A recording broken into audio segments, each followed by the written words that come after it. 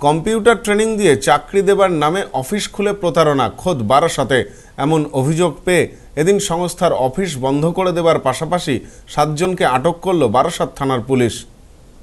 Computer training দিয়ে চাকরি দেওয়ার নামে এক প্রতারণা চক্রের হদিশ মিলল খোদ জেলা সদর বারাসাতে।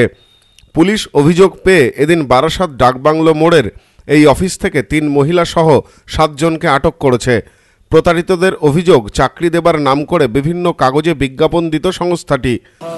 কিছু প্রোগ্রাম ছিল আমাদের কালেকশন করে ফিরছিলাম, তখন এই ছেলেটি আমাকে রাস্তায় ডাকে, আমার পূর্ব পরিচিত ও আমাকে বলে, এখানে একটা অফিস চলছে সিটি হাইটসে ডাকবাংলা মোড়ে সিটি হাইটসে একটা অফিস চলছে।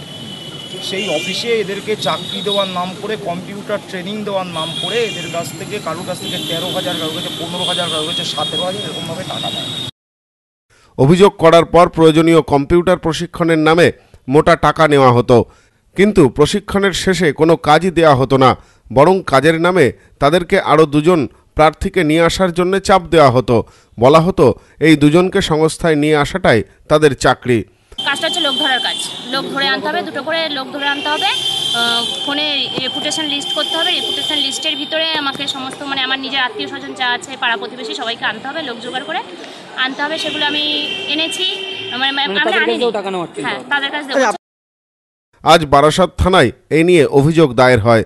পুলিশ সংস্থার দপ্তরটি বন্ধ করে সাতজনকে আটক করেছে। বলে যে তোমাকে অফিসিয়াল জব দিচ্ছি কিন্তু অফিসিয়াল জব করার আগে তোমাকে কম্পিউটার শিখতে হবে। হলো? এবার কম্পিউটার শিখতে হবে এবার সেইভাবে আমরা কম্পিউটার কবে শিখব আমরা বলেই যাই স্যারকে কাজ কবে দিয়ে শুরু হবে সেটাও বলি স্যারকে কিন্তু স্যার শুধু বলে ট্রেনিংটা নিতে থাকো ট্রেনিংয়ের মাঝে তোমাদের কাজ শুরু হবে বলে দেবো। Bureau report news no man's land Barasat.